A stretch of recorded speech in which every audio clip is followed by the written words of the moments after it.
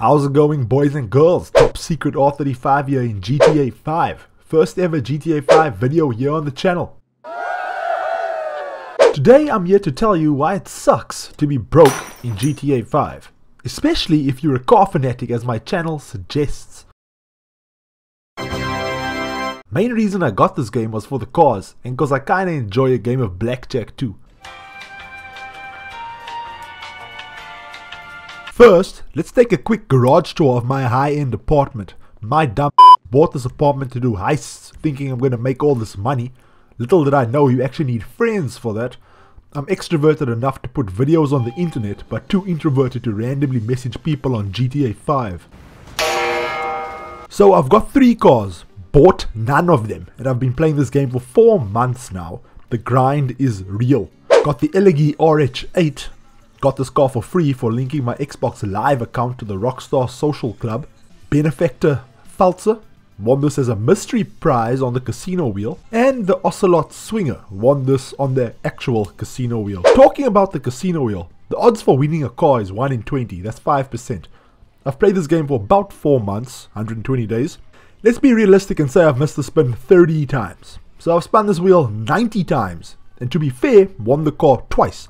That's 2.22%. In actuality, 1.11%. The math don't add up. So the point of my rant video is that Rockstar is very good at selling the shark cards.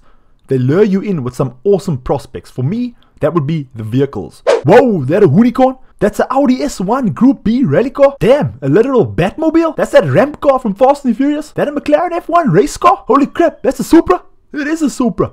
I just want to buy all these cars, but look at these prices. Funny enough, I bought myself a tri bike recently, and Rockstar didn't milk this. At $10,000, it's quite the bargain.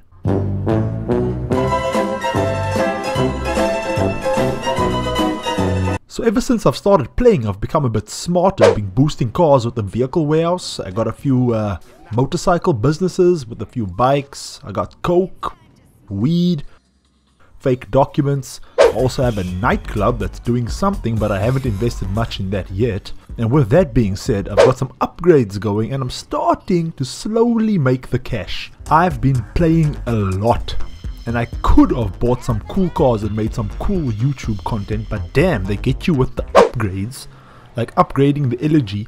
Holy smokes, this game teaches you to budget better than real life. Forget any sort of financial literature course, all I recommend is play GTA 5 online.